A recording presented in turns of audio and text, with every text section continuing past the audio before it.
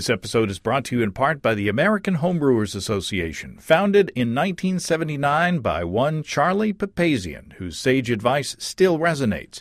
Relax, don't worry, have a homebrew. Join Charlie and other beer enthusiasts at homebrewersassociation.org. That's homebrewersassociation.org.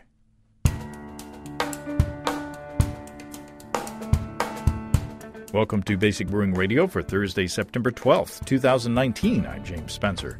Here at Basic Brewing Radio, we're all about home brewing. This week, Chris Colby talks about hop breeding and genetics.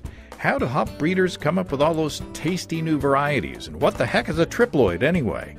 If you go to basicbrewing.com, you can find archives of our audio and video shows. And if you go to basicbrewingshop.com, you can find our DVDs, our brewer's logbooks, and other basic brewing gear. You can follow me on Twitter and Instagram at Basic Brewing and find our show page on Facebook as well. We have a cool Basic Brewing app on iTunes and Amazon.com, and we're found all over the place where fine podcasts are served up. And if you'd give us the favor, or do us the favor, of rating us on iTunes and maybe leaving a nice comment there, they say that'll help new listeners to find us. And if you want to support us financially, check out patreon.com slash basic brewing. And uh, thanks to everybody who's helping out in that way. If you go to patreon.com slash basic brewing, you can see a, list, a long list of stuff that you can access if you sign up as a supporter. The Patreon supporter group is growing, uh, and I definitely appreciate everybody who's uh, supporting Basic Brewing efforts there. Um, losing that affiliate link to the uh, certain unfeeling online retailing giant was a big blow, but uh, a bunch of you stepped in and stepped up to uh, keep this train on the track, and I I definitely appreciate it. We also have to thank our friends and sponsors like Imperial Organic Yeast. The uh, pseudo sahti that I brewed with Imperial's Kveiking blend is really tasty and fun. Uh, everybody I've talked to who's tried Imperial Organic Yeast gets excited about it. Imperial offers the highest cell count of any liquid yeast producer 200 billion cells. I like to say my stir plate is dusty because I stopped making starters for moderate gravity five gallon batches. Uh, my airlocks are generally dancing before the sun goes down. It's incredible. Imperial is the only certified manufacturer of organic yeast in the world. They've got top notch, friendly customer service, an industry leading QC program, and you gotta love the easy, open pouch. Casey from Imperial has uh, let me know of something special that they're going to release this fall, uh, which may happen before the end of the month. So keep your ears open. Uh, check out all the awesome Imperial strains at imperialyeast.com and pick up some at your friendly local homebrew store, Imperial Organic Yeast. And we certainly appreciate uh, the support that uh, Casey and everybody at Imperial uh, has given this program. Let's give a uh, quick look into the mailbag. Frank from Philly writes, "Big fan of the show. Thanks, Frank. And you've almost talked me into go uh, giving up propane." Uh, two temperature slash time related questions about your Warthog 240 volt single vessel system. Frank says, on average, how long does it take to heat up from tap to strike? And then how long does it take to heat up after from after sparge to boil? Well, thanks, Frank. Uh, wait, this suspiciously sounds more like a word from our sponsors, Desiree and Dave from High Gravity in Tulsa rather than just being a strict uh, mailbag segment. Uh, but uh, you know, that's the way it goes. It is a leg- it's a legitimate question that I've, that I've gotten a couple times recently, so I thought I'd I'd address it. Uh, as you know, I have the 240 volt 10 gallon brew in a bag system from High Gravity. And according to Dave, I haven't timed it myself, but Dave says if you have eight gallons of water in the kettle, which is what I start out with for a five gallon batch, the 240 volt system will raise the heat of that 8 gallons at a rate of 4 degrees Fahrenheit per minute. And of course, the 120 volt 5 gallon system is half that rate. Um, but Frank has another question. He says, if I wanted to, or if one wanted to, could you remove the electrical from the unit and use propane? Well, I don't know why you'd want to do that, unless maybe you're going camping or maybe you're taking your uh, brew in a bag system uh, for a group brew somewhere without access to power. Uh, but Dave says you don't have to remove the electrical components. Since the brew in a bag system is based on a Cajun cooker, you can just put the kettle right there on the propane burner and use it that way, in a pinch, of course. Uh, one caveat: Dave says you might want to shield the O-rings on the system. You know, make sure that you're taking care of them. But uh, let's say you get the 120 volt system from high gravity and want to speed up the time it takes to get to strike temperature. Well, you can put the Warthog brew in a bag system on the stovetop and use your burner to supplement the electric element. And then after you get up to a temperature, you can just use electricity to maintain the temp uh, and then go on to boil. So very flexible. And, uh, you know, I love my Warthog system. But uh, one more thing about the folks at High Gravity they're celebrating 15 years of being in business. This Saturday, September 14th, there'll be a party at 3 p.m. at Pippin's Tap Room there at High Gravity to celebrate. So, congratulations to Desiree and Dave and everybody at HighGravityBrew.com for 15 years of being an awesome homebrew shop. HighGravityBrew.com. Okay, let's talk to Chris Colby, editor of BeerAndWineJournal.com, about hop breeding and genetics. Well, Chris Colby, welcome back to Basic Brewing Radio. Hey, thanks for having me on the show. You got all kinds of stuff going on now. You've you've written articles for two magazines re- recently that I know of, and you've got you you've told me maybe in secret of some book things going on. So you're you're a busy guy. I am a busy guy. It's a it's better than not being busy. In addition to raising monarch butterflies and uh, container gardening and cat wrangling and all that good stuff. Cat wrangling, yeah, yeah. I uh, I've had a uh, I've got an article, the one we're going to talk about today, in Craft Beer and Brewing, and uh, I've got two articles in a magazine that just premiered called uh, Fermentation Magazine. Oh. And I'm going to be, uh, I'm slated to write even more articles for them, including some on uh, this this beverage called beer. and where where where might we uh, find these uh, these magazines, these publications? Uh, at the magazine store. I don't. they exist still. yeah, do they? I, I don't know. I, there, uh, there are buildings with books and magazines made of paper still? I don't know. Yeah. And newsstands everywhere, I'm guessing. Or in your in your finer uh, uh, dentist's offices and, and things like that, maybe? I don't know. yeah. Next to highlights. Have you got anything coming out in highlights? Have uh... I don't. Goofus, Goofus and Gallant in the brew house. Goofus doesn't sanitize his equipment. yeah. Gallant always checks that the, that the uh, valves are closed before adding boiling hot water to a vessel. See, there's another yeah. book, another book idea. So, so we're uh, we're going to talk about the uh, the article in Craft Beer and Brewing magazine, and what what do we got going on in this one? Um, it's a story about hop breeding. You know, uh, the basic idea that you know these days new hops are debuting all over the place, and uh, this is how do you know how do these come into being, both how and why.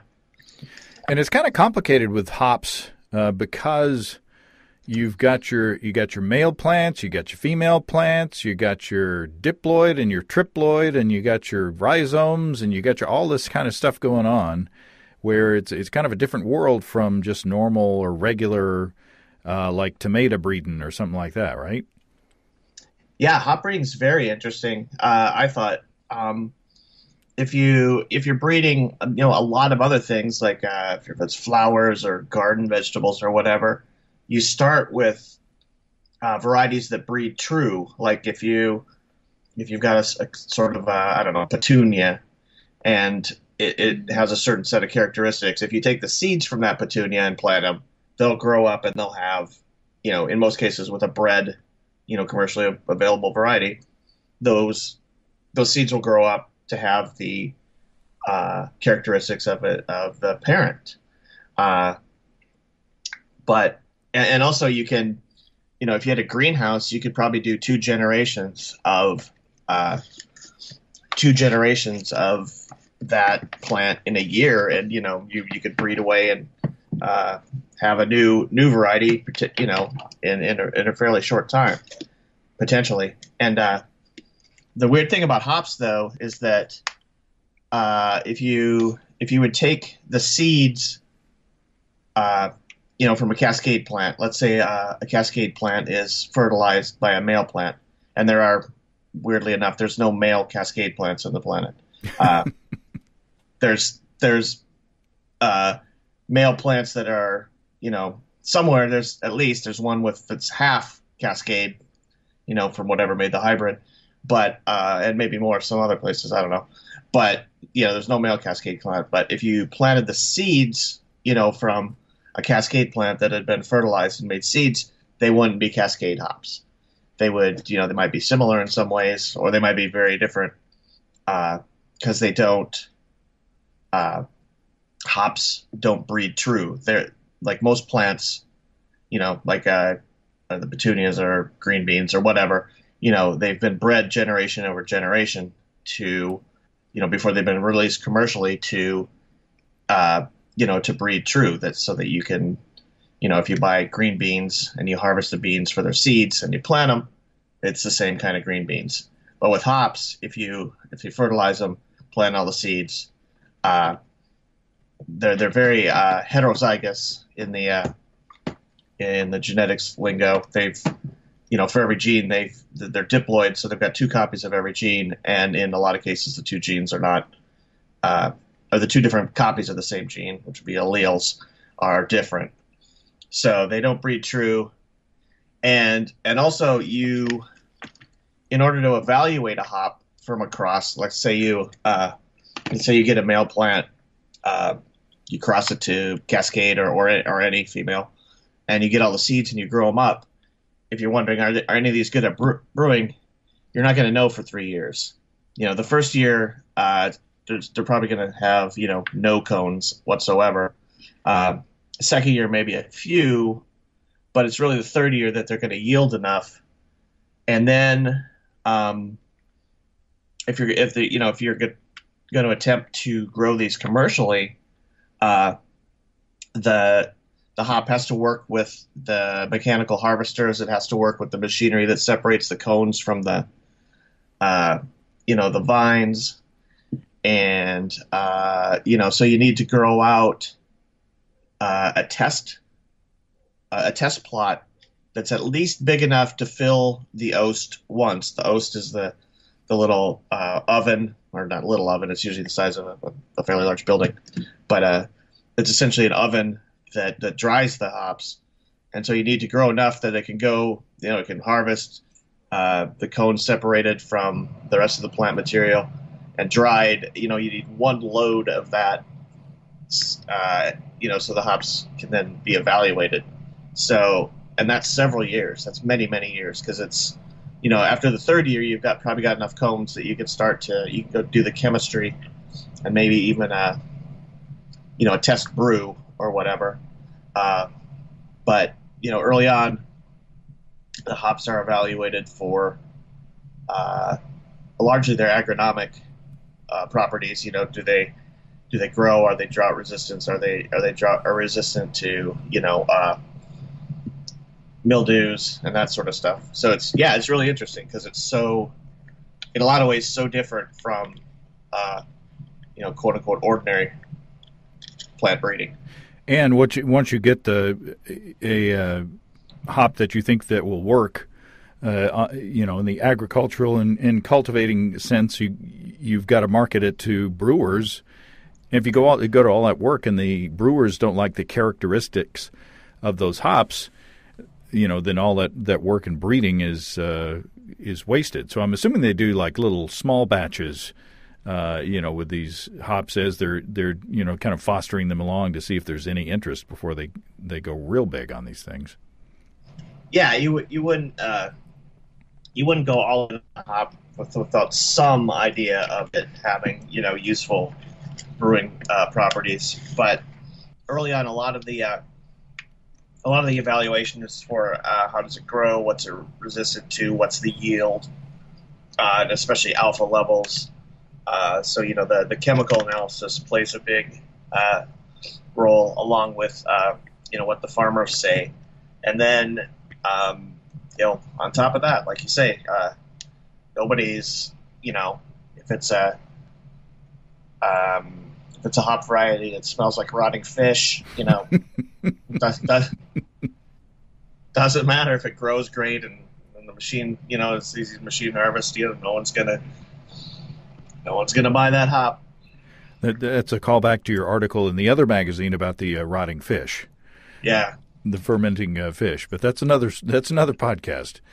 Uh, so I you somehow can't get that out of my mind. I can't seem to forget you. Your rotting yeah. fish stays on my mind. I uh, so so you know we we do this little thing we call the hop sampler, Steve and I, and and we read these uh, descriptions of the of the hops, and they say they're a cross between this this uh, you know variety and that variety, or you know variety A and variety B, but you say there's no, like no male cascade. Uh, right. or there's no male whatever variety that's out there. So how can they how can they cross those those uh, two hop strains if there's no if there's no male. For the uh, for a lot of the older, you know, the noble hops and stuff, the the landrace hops, there are you know males and females out there. Uh, but for the newer ones, they were created uh, by uh, you know hybridization, make, taking uh, uh, you know generally a brewing strain, taking a female and then mating it with it with another male. And uh, a lot of times, I think also if you look at the descriptions, they'll say they won't say necessarily a, a male, you know, Galena. They'll say a male with Galena in its heritage or something. Um, you know, I'd, I'd, have to look at the exact cross to know which, uh, you know, which is which. But there are, you know, uh, in the old landrace hops, there are, if I'm, if I remember correctly, there are males. And those are in uh, on the hop production fields. Those are verboten. Those are kept far away from the, from all the rest of the females, right? All the rest of the girls. Yeah, they don't they don't grow bale hops anywhere near uh, uh, the uh, uh production growth of, of, hops because they uh, if the if the female plants are fertilized by male pollen, the the cones have seeds, which is it takes away from the brewing quality of the of the hops. So if you're if you've got a like a like a female cascade and you've got some rogue wild landrace male hop, you know, within the neighborhood, uh, and some pollen gets on the uh, onto the cones of the uh, the cascade, it doesn't change that hop cone. It's still a cascade cone, right? It doesn't change it into the hybrid on that first generation. Yeah, the uh, the pollen would, if it uh, if it affects the female plant, the pollen would go to the flower of the uh, female plant, and then it would grow a cone.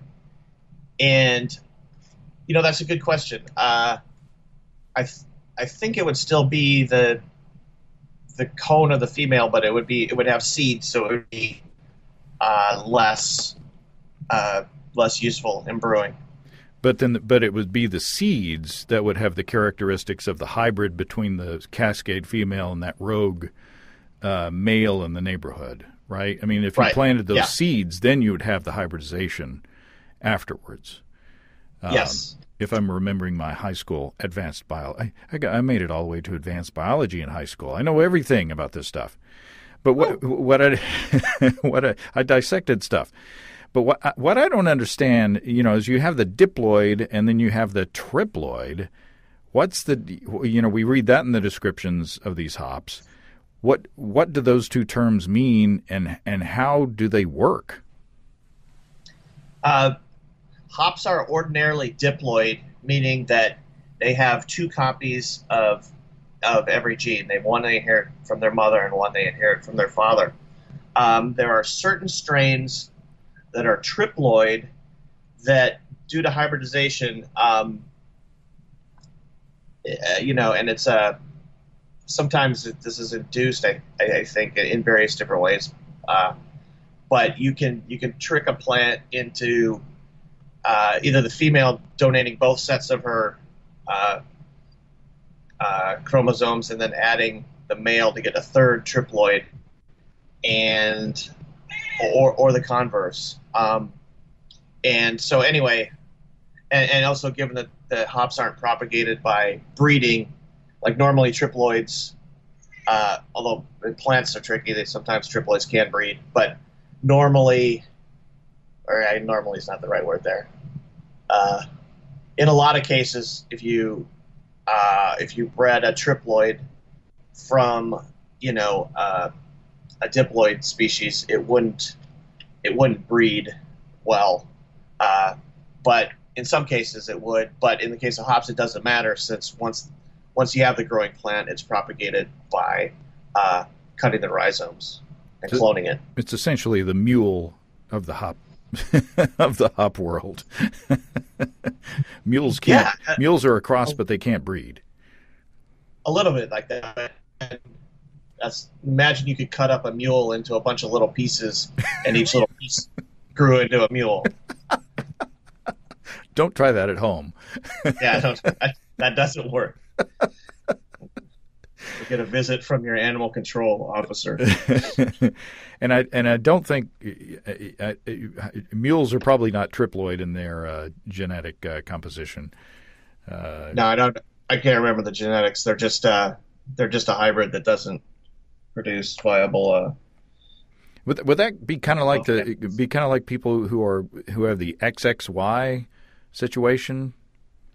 Would they be triploid? I'm getting into stuff that probably doesn't matter, but just curious. Uh, they're not overall triploid for for that chromosome. They would be the the sex chromosome, but uh, like a triploid. Uh, I mean, uh, they don't occur in humans because they would it would not have any viability whatsoever. But uh, yeah, would be, have uh, three complete sets of all its chromosomes. And then Neil Peart, I think, is a YYZ uh, chromosome. See. Ding ding ding ding ding ding. I'm triggering a lot of people out there. So, uh, so when you get a when you get a a rhizome, you what you get if you want to grow hops at home is a rhizome or sort of a root uh, uh, component of the plant, and that is a cutting from a cutting from a cutting from a cutting from a cutting, probably of the original uh, cultivar, the original variety that was created uh, or bred in the field. Right? You got a you've got a clone in your on your hands. Yeah, if you, uh, especially if you're buying a, a type of hop rhizome from something that's been around for a while, your many uh, quote unquote generations of uh, propagation. It's not really a generation because it's not a new uh, organism. But yeah, uh, yeah, you're just buying a clone of a plant. I mean, it's interesting if you go if you go to a commercial hop uh, field, you know, and they're huge. You can be standing in a line, you know, in a row, and you can look almost to the, you know, uh, horizon, and there's hop plants going one way, and there's hop plants going the other way. Those are all the same plant. They, there was at some point, uh, uh, there was a male and a female that came together. There was a seed that grew up, and you know, if you're in a cascade plant or a cascade field, every one of those cascade plants was cloned from, you know, the original uh, cascade plant. Much like the what was that the army in uh, Star Wars being cloned from Boba Fett. it's, it's, is, is that one of the prequels? I, I wasn't into the prequels. That's uh yeah. I'm a purist. Wasn't it? It was one of the yeah. It was one of the first three movies that they. now you're into geekdom that even I don't know about. There you go. So, so I see posts every now and then on Twitter of some somebody uh, posts a picture on there and says, "Well, looks like I got a male hop plant." Uh, so, what are the odds that somebody who bought a a, a commercial rhizome actually got a male hop plant? Zero percent. Yeah, they don't. No, no place is going to sell you a male rhizome. So what's going on? What? If somebody show, gets a picture on there and there's a there, you see a hop vine, uh, and there's no uh, there's no cones on it, what what what's up? Well, if it's a first year plant, uh, that's just par for the course. You you grow it the first year, and there, if there's any cones on it at all, you're lucky. Um, second year, uh, you'll probably get some cones, but it, it's sparse. It's not really till the third year that the plant starts yielding uh, cones. And also, I, I, had a discussion with, um, uh, oh, and I'm not going to remember any any names, but on a past show, uh, I was told by a hop uh, grower that hops like to be grown tall, and they and they really don't put on cones unless they are put up a trellis and they are grown tall. Uh, my uh, you know my my compost heap hops that I'd like to talk about a lot. Uh, hmm. You know when I when I didn't have them on a, a trellis of any kind, I just had them as kind of a shrub because I didn't know what that guy was doing. They never produced any coin. In, like three years, they grew there and they never produced a single cone. So I threw them in the compost heap, and they grew. They're they're they're very happy there now. You know, a decade later. Uh, but even now, they're growing on a chain link fence, which so there's a lot of vegetation and they're growing horizontally. But even then, there's a ton of vegetation and there's only just a handful of cones. Uh, so I, I next I keep thinking that I'm going to do it. You know, I'm going to actually put a string up to a tree or something and let these things grow upwards and see what happens. But I think unless you let your hops grow way tall, they're not going to give you the kind of conage uh, that you want, and so you may be tricked into thinking that you got you know some kind of male uh, hop plant. That's possible too. Also, uh, most hop varieties uh, the the cone density is uh, on the trellis is highest at the top. And one of the things um, when I was talking to the, uh, some hop breeders for this article is one of the things they they they breed for. Would you know another one of the, the the growing characteristics is that hops they want to get hops all the way up and down the uh, you know the the vine is like 30 feet tall, and, and you know they want hops coming out of you know out of all of it, not just the top ten feet. And so that's uh, yet another character that they uh, that they uh, try to select for. And and it's and it's vine with a B as in boy, not not vine with a V as in Victor, right? Technically, right? Yeah, I mean it's a vine with a V, but the kind of vine it is is a vine with a B. Yeah, so it's not it's not wrong. It would be like calling uh, you know a VW Beetle a, a car. You know, it is a car, but you, you, can be more specific and say it's you know VW Bug.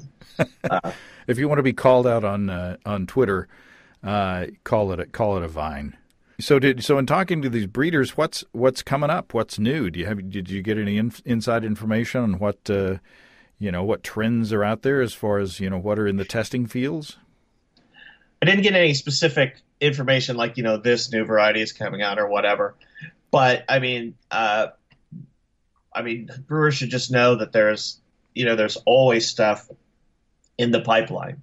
You know, the fact that something came out last year meant that you know eight or ten years ago or twelve years ago somebody started that you know that that ball rolling, and every year you know someone starts the, the ball rolling now. So there's a lot there's a lot of stuff in progress. I talked to them about uh, GMOs. Mm. And like, like, is anyone going to go down that road? And and right now, I guess the uh, they feel that consumers would reject those out of hand. So there's there's no real uh, work being done on that. Which, uh, and yeah, I did I didn't press them on you know uh, anything about uh, specific strains coming out because you know we'll we'll find out in time. So what's the difference between a a genetically modified hop and a just a a, a hop that has been bred uh, you know to favor different genetic uh, characteristics? Uh, not much except for the technique. I mean, in the case of a, a hop that's been bred the traditional way, you would take you know, say a, a female hop that has brewing characteristics that you like.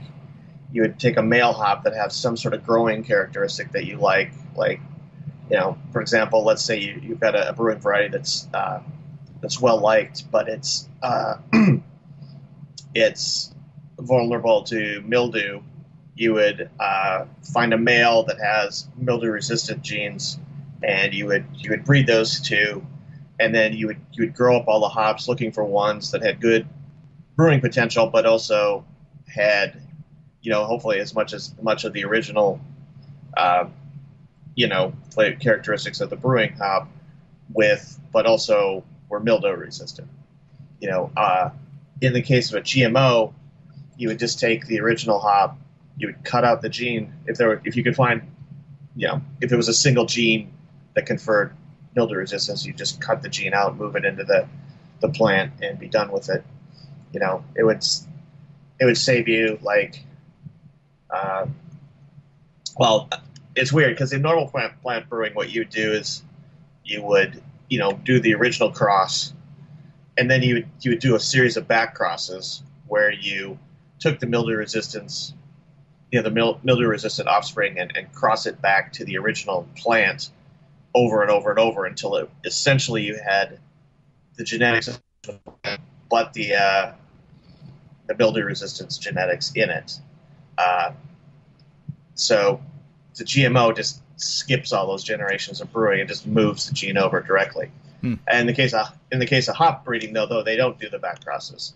The uh, they, the hops are all uh, hybrids of hybrids of hybrids of hybrids, and they're, they're very heterozygous, and so there's, uh, you know, given that it would take, you know, multiple years for each back cross, they, you know, just nobody's gonna nobody's gonna do that. One trend that I, that uh, I'm interested in is hops being grown outside the traditional latitude. Uh, you know that uh, that people generally grow hops. Uh, like for instance, there I saw one of the local brewers here in Northwest Arkansas post that uh, there's a, a hop farm over in Oklahoma that is uh, you know growing some hops, and uh, you know the brewery said look look for some you know local hops uh, in uh, in a beer you know at the end of the season or whatever. So I'm interested to see how productive these hop farms are you know outside of the of the uh, traditional latitude that hops are comfortable growing in. Yeah, I grew hops uh, for several years. Um, and I found even where I am in uh, you know central southern Texas, uh, the sort of American hops, you know Cascade, Centennial, and all that grew pretty well. The uh, uh noble hops not so much. Uh, they they grew well, but they were uh, the flavor was just insanely grassy mm. from them. And I worked a couple years. I started getting the idea that. Um, because commercial growers uh, they let the hops grow for a little while, then they cut them back uh, a couple weeks after they've sprouted, and then you know they, they grow full to their full uh, height, and they know given you know given the variety, they know when they're going to come uh, uh, due. You know they're they're, they're going to be ripened, and I, I had worked with letting the, the hops grow tall and then cutting them way back and letting them resprout with the idea that instead of because around here the, the hops can be finished by like July, mm-hmm. you know, and that's the hottest time of the year. Trying to force the hops to to mature, you know, in at least September when the temperatures come down a little bit, or even later than that. Uh, and then we had the giant uh, drought of 2011, which uh, uh, killed all my hops, and I was just yeah, screw it. Yeah, my Cascade hops did pretty well, and they look they look nice. They had a bunch of cones on them, and I thought, man, those are really good looking hops. And then I went to a, a commercial uh, hop growing facility, you know, up in Oregon, and uh, that was no comparison. it was just I was just blown away. It was like Land of the Giants or something. the size of these these uh, hop trellises and hop vines, and the you know it's like uh, cones as big as your fists, my man. You know, it was just it was just ridiculous. Uh, so yeah, it's uh, yeah, it, it does make a difference. It's yeah, it's interesting, and you know, it's it's it's nice that there are breweries who are, who are trying to grow that and, and a local thing. But on the on the other hand, there's a you know there's a reason why the hop growing regions uh, you know cluster along the latitudes that they do. So you know, I mean, with some if you had someone who was both a brewer and a good plant breeder, and they had a couple hundred years to to really work work on some varieties uh, that are are more heat resistant and to work on the the way that they're handled, then that'd be cool. Yeah. Well, I'm you know I'm not going to count them out. I say good luck to them, and uh, I will rejoice in their success if it happens. Also, if you had a big enough greenhouse that you could control the light and the heat for, you could set it. You know, you could program it hypothetically if you had the, the equipment to do the you know go through the growing season anywhere on Earth. I, I thought about this a couple years ago when um, I was thinking about you know if you had the if you had the rainfall and the temperatures and all that records from like the most famous uh, vintages of wine, mm. you know, you could just recreate that in a in a and then of course you need the same same vines, but you could recreate that in a greenhouse and uh, waste a, a lot of money. Yeah, I was going to say uh, you know, thanks to recent legislation in both uh, Oklahoma and Arkansas, if people did have those kinds of facilities, they wouldn't be growing hops. yeah. They'd be growing a cousin. a closely related plant, yes. you know, and cheers to them too. So there you go. Well, Chris, it's been fun again, and uh, and and this will be out in in uh, or it is out in Craft Beer and Brewing magazine, and the, your your uh, article on uh, fermentation in general is in the magazine called Fermentation. Is that right? Yeah, it's just called Fermentation. Yeah, the the Craft Beer and Brewing is the uh, August September issue, which is their their IPA focused issue. So. I don't know if uh, do people drink IPAs anymore? Is that still a thing? that's nobody drinks those anymore. it's, all pilsners now. So, uh, People yeah, are wanting pilsners, to, but you know. I know, but you go into a bar and they'll have seven taps, and like six of them will be IPA. And, oh, great! I'll have one of those. Oh, all right. I don't have a choice. I'll have one of those. Well, thank goodness I like them. All righty. Well, I appreciate it, and we will uh, we will be keeping tabs on your progress on all your uh, projects. Okie dokie. Thank you, sir. Well, thanks again to Chris. Looking forward to reading what he's working on. He's got some projects coming up. Uh, in the meantime, if you have brewing questions, show suggestions, or just want to say howdy, write to james at basicbrewing.com or just fill out the contact form on basicbrewing.com. And please don't forget to tell us where you're from. Check out our mobile friendly shop, online shop at basicbrewingshop.com. Thanks to everybody supporting us through our Patreon page. Special goodies coming your way. Check that out at patreon.com slash basicbrewing. It's all until next time. Until then, thanks for listening, everybody. I'm James Spencer. Production help for Basic Brewing Radio and our website is provided by Kelly Dodson. Basic Brewing Radio is a production of Active Voicing. We'll talk to you next time, everybody. So long.